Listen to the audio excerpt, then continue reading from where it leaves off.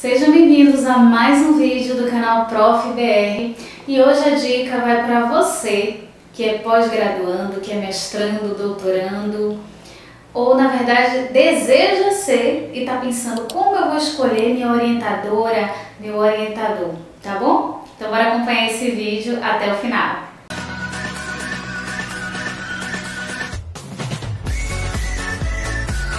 Gente, eu já recebi perguntas é, sobre como escolher orientador aqui nos comentários, no Instagram. Vou até deixar aqui embaixo o meu link do meu Instagram, me sigam por lá também.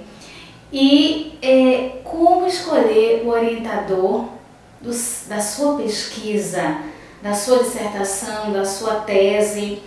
Eu vou falar aqui para vocês um pouco de como foi a minha experiência e não tem como eu conhecer a experiência de todas as instituições eh, acadêmicas do Brasil ou fora do Brasil. Há, por exemplo, algumas instituições eh, em que tem alguns orientadores e eles recebem os projetos e escolhem quem eles vão orientar. Mas na UFPA foi um pouco diferente, então eu quero partilhar com vocês e trazer algumas dicas, deixa eu ver quantas aqui, não, acho que tem três dicas é, de como escolher da melhor forma possível a sua orientação. Afinal de contas, é um trabalho importante na sua vida que vai te dar um título, vai fazer com que você cresça como profissional.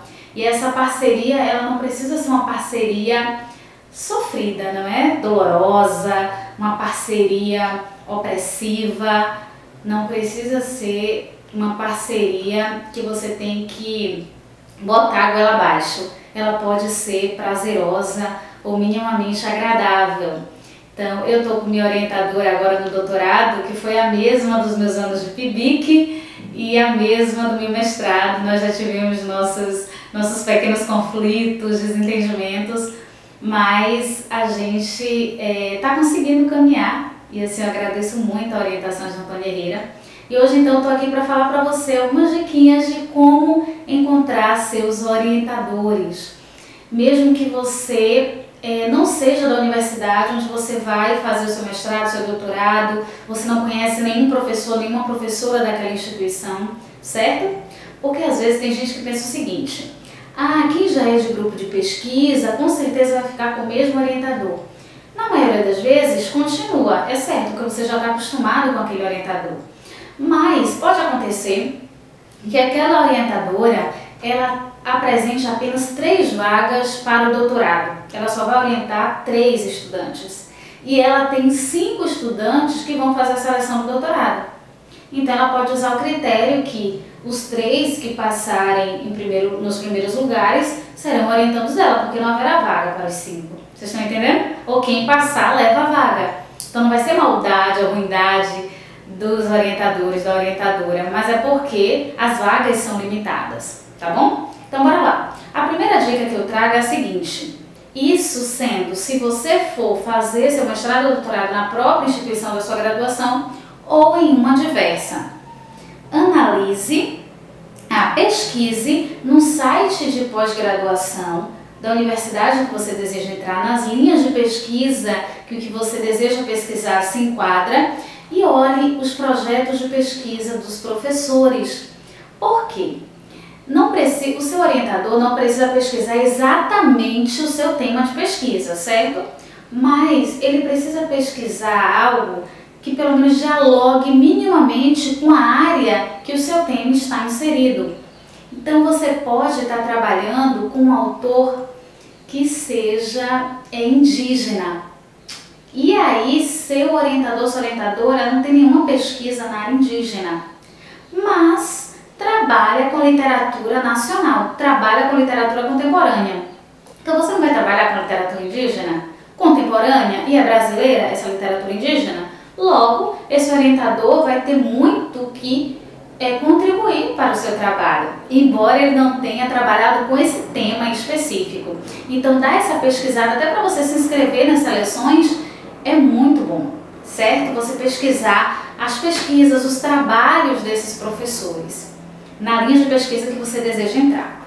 A segunda dica é analise o edital e os professores com as vagas ofertadas. Porque ali foi antes do edital sair, você pesquisou lá no site da pós-graduação, sabe que eles pesquisam. Nem todos os professores ofertam sempre vagas para mestrado e doutorado, que às vezes já estão cheios de orientandos, às vezes estão fazendo pós-doc e não vão lecionar naquele semestre que você vai ingressar na instituição. Então você precisa saber daqueles professores que você já estava de olho, quais vão ofertar vagas e quantas vagas vão ser ofertadas para a sua linha, é, no nível de mestrado, no nível de doutorado, e você então coloca. Normalmente eles pedem, lá mesmo na UFBA, na UFBA eles pediam para colocar em primeiro lugar que orientador eu gostaria de ter. Em segundo lugar, em terceiro lugar. Então eu coloco ali três opções e dependendo da minha colocação, da disponibilidade dos orientadores, eu vou receber então essa orientação, certo? Como eu já queria a orientadora que eu tenho, eu colocava eh, em primeiro lugar. E a terceira e última dica neste vídeo, para que ele não fique muito longo, é, se possível, pesquise o perfil dessa orientadora, desse orientador. E quando eu falo perfil, assim, o perfil acadêmico, como é a relação desta professora, deste professor com orientandos é, anteriores. Isso é bom porque você vai perceber se este perfil combina com o seu perfil, justamente para que não seja uma relação opressora, uma relação muito desagradável. Claro que ali tem hierarquia, é claro que, que aquele professor ele tem muito mais experiência, bagagem, ele está ali para orientar o seu texto, você vai precisar às vezes apagar muita coisa, refazer, ele vai estar ali para exigir o seu comprometimento, mas jamais pode ter relações de abuso é, ou que tire a sua saúde mental. Então pesquise o perfil dessa orientadora, desse orientador, nem sempre aqueles que têm assim um grande nome na academia, né, vai ter, vai casar o perfil com você ou pode realmente contribuir para o seu trabalho. Isso é importante, porque o que, é que o orientador faz, gente? Ele precisa ajudar nas referências, não é tirar dicas de referências, sejam digitais, sejam físicas, de autores. Isso é importante para enriquecer seu trabalho. Te ajudar na construção metodológica, você está começando a sua vida acadêmica, então você precisa desse norte. E ter uma crítica sincera, uma crítica honesta algo que não seja só de ego, mas que realmente possa contribuir honestamente para o seu trabalho. Então é isso, essas são as três dicas.